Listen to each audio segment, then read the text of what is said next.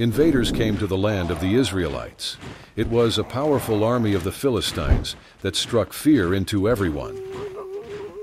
The Philistines had a giant warrior named Goliath. Every day, he challenged everyone, boasting that no one could defeat him.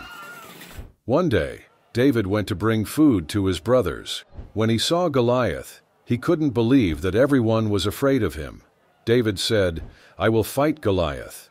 God will protect me. King Saul, hearing about David's bold faith, offered him weapons, but they were too heavy. So David decided to use only his sling and some stones. When the battle began, David ran toward Goliath. He swiftly threw one of his stones at Goliath, using his sling.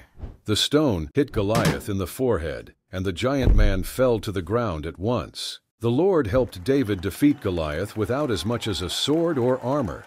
Hearing of the giant Goliath's death, they were filled with fear and fled Israel. The Israelites won the battle.